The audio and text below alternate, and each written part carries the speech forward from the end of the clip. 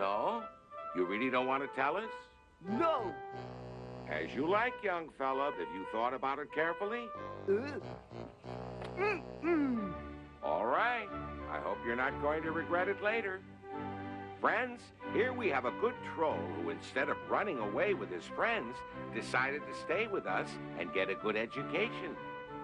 Fine, we could teach him arithmetic. Algebra. Um, history. And we'll teach them good manners, too. Oh, Pat, you're going to graduate with flying colors. Oh, no, no, please, anything but that. I'd rather die. I'll teach you to wash every day with rose-scented soap so you'll smell nice. No, not so. I'll tell you everything. Right, all right. And where have the other trolls gone now? Up north, we were going to aggravate a herd of reindeer.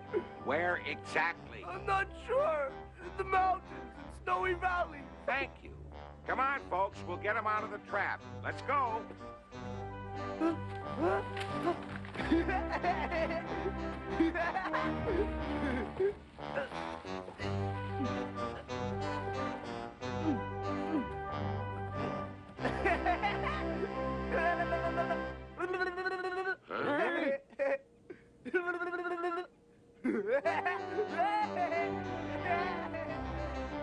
Once a troll, always a troll. We've got to teach them not to spoil our wedding parties.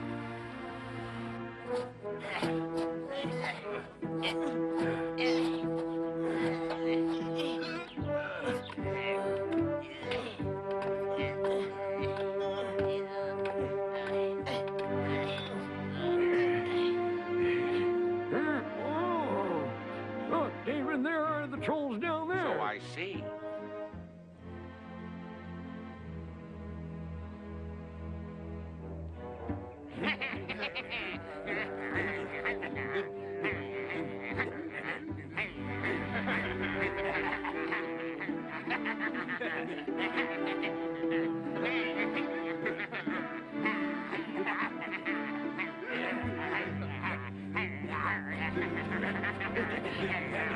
him the old snowball treatment. Thank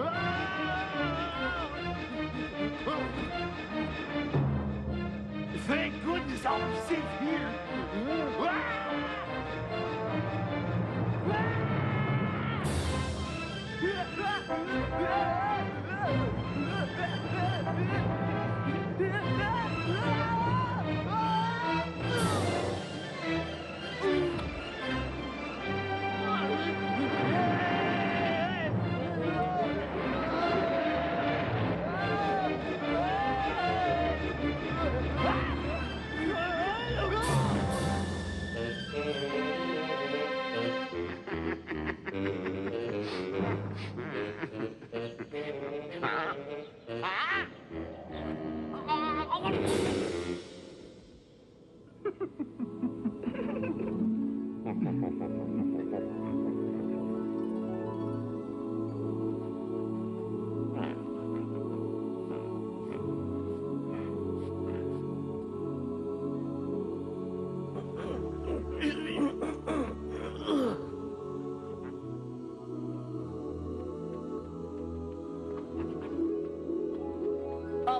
All done. There they are, sleeping like babies.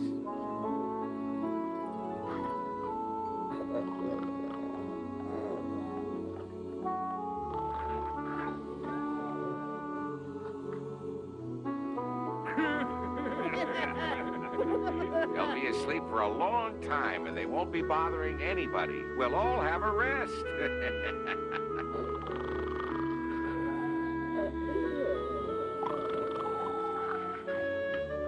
I hope they've learned that brains will triumph over brawn every time.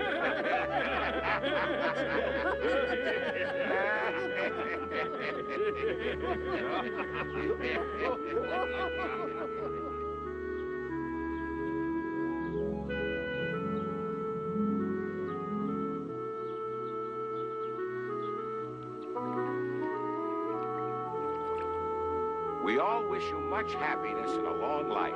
We've come to see you off on your honeymoon. Thank you. Our friends the geese are ready to take you wherever you want to go. In any part of the world, the animals will welcome you. You'll never lack for a place to stay, and don't worry about your house. It'll be spick and span when you get back home. Goodbye. Thank you, David. Thank you. Goodbye, Goodbye, everybody. Goodbye. Bye.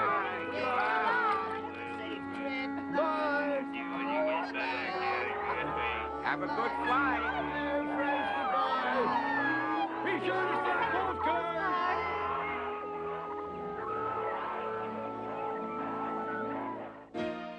David knows it's always good to be friendly with your neighbors. What he doesn't know is how mysterious his neighbors really are. When his granddaughter Susan comes to visit, a frisky cat pays an unexpected visit too. Is it just bad luck, or have the mysterious neighbors really cast a magic spell?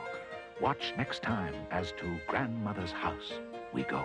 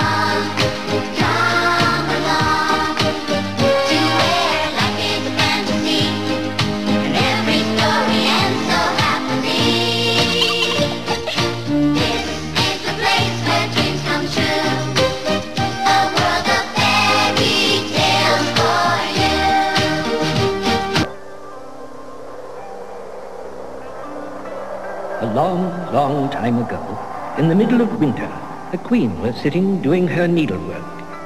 As she worked, from time to time she would glance up to see the snow falling outside. And because she did so, she accidentally pricked her finger with her needle. Because the blood that fell from her finger looked so very beautiful on the snow, the queen murmured to herself the following thought. I would love to have a little girl with skin as white as the snow and lips as red as this blood. and hair as black as the blackest raven in the winter sky. The queen's wish was to come true, for soon after that, the queen gave birth to a little baby girl. Sadly, however, this good and gracious queen drew her last breath just after the child was born. The baby who was left behind was just as her mother had wished her to be. A princess with skin as white as snow, raven black hair, and with rosy red cheeks and lips. Oh, there, there, there. No matter, no matter. You can cry all you want, but all the tears in the world won't bring your mother back. But Doris, your loving nursemaid, will cuddle you until you feel quite happy again, dearest. Your mother, the queen, left me to watch over and care for you. And that I shall, my dear little princess. This tiny princess who had lost her mother was named Snow White. Snow White grew, as babies do, and then she crawled, and then she stood up, and then she was ready to walk. Come to Doris there. See how well we're walking today. And upsy daisy.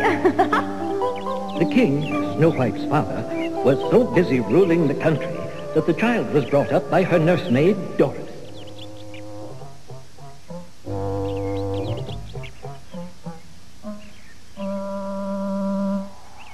And then, one year later, a new member of the royal family was welcomed into the castle, a new queen.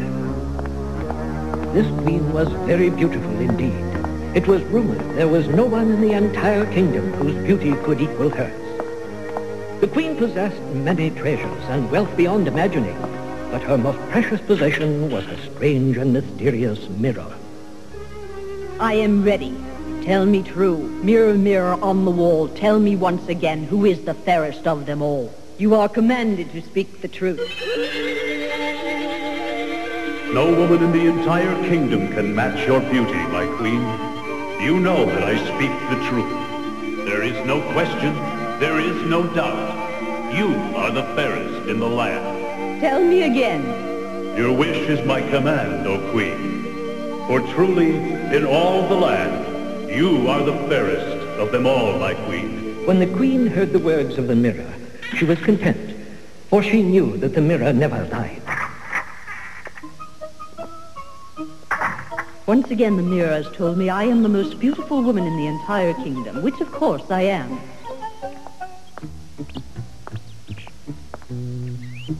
What a beautiful little girl. Tell me, what is her name? The child is named Snow White, Your Majesty.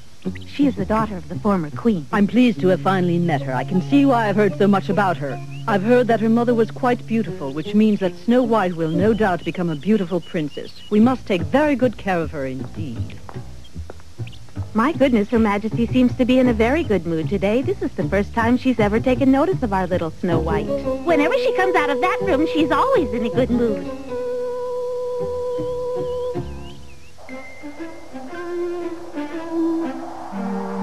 Ten years passed, and Snow White became a young lady of grace and beauty.